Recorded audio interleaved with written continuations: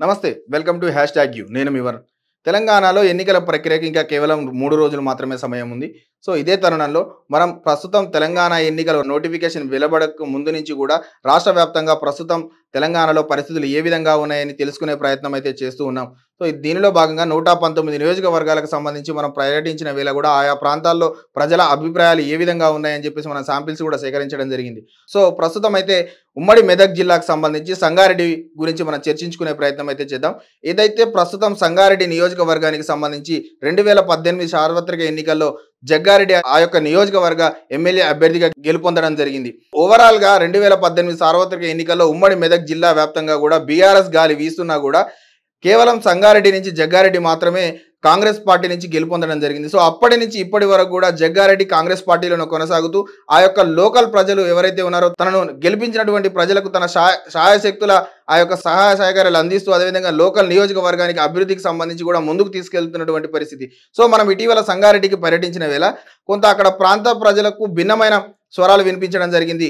ఏదైతే ప్రస్తుతం జగ్గారెడ్డి ఈ యొక్క నియోజకవర్గంలో శాసనసభ్యుడిగా ఉన్నారు. కాకపోతే ఇక్కడ అభివృద్ధి కార్యక్రమాలకు సంబంధించి కొంత తనకు తోచినంత సహాయం చేస్తూ తనకు తోచిన విధంగా ముందుకెళ్తున్నటువంటి పరిస్థితి.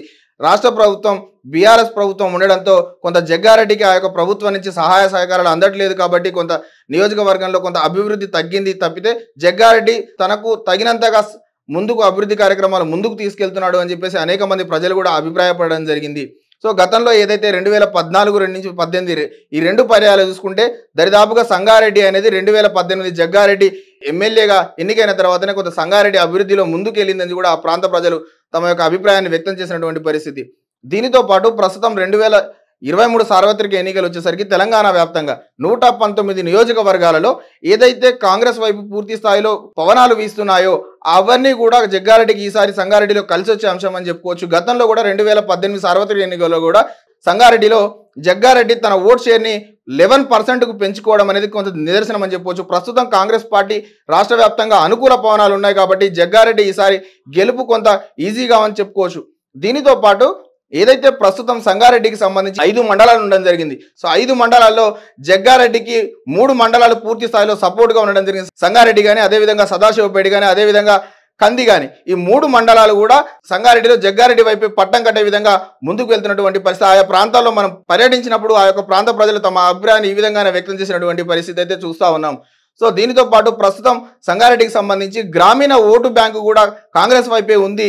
ఎందుకంటే గతంలో కేసీఆర్ ఇచ్చినటువంటి హామీలు ఏవి అమలు చేయకపోవడంతో గ్రామీణ ఓటు అంతా కూడా కాంగ్రెస్ పార్టీకి గత కొంతకాలంగా కూడా అనేక సంవత్సరాల నుంచి గ్రామీణ ప్రాంత ఓటు బ్యాంక్ అనేది కాంగ్రెస్ పార్టీకి కలిసి వచ్చిన అంశం.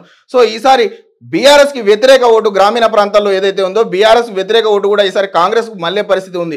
అదేవిధంగా మైనారిటీకి సంబంధించి కూడా ఓట్లు సంగారెడ్డిలో అధికంగా ఉండేటువంటి పరిస్థితి. ప్రస్తుతం మైనారిటీ సోదరులందరూ కూడా కొంత కాంగ్రెస్ వైపు వెళ్ళడంతో కాంగ్రెస్ ఈసారి జగ్గారెడ్డి సంగారెడ్డిలో విజయం ఖాయమని చెప్పేసి ఆ ప్రాంత ప్రజల అభిప్రాయం అయితే మనం తీసుకోవడం జరిగింది. సో ఏదేమైనా కూడా ఈసారి ఎన్నికల్లో జగ్గారెడ్డి విజయం ఖాయం అన్నట్టుగానే ఆ ప్రాంత ప్రజల అభిప్రాయం వ్యక్తం చేసినటువంటి పరిస్థితి.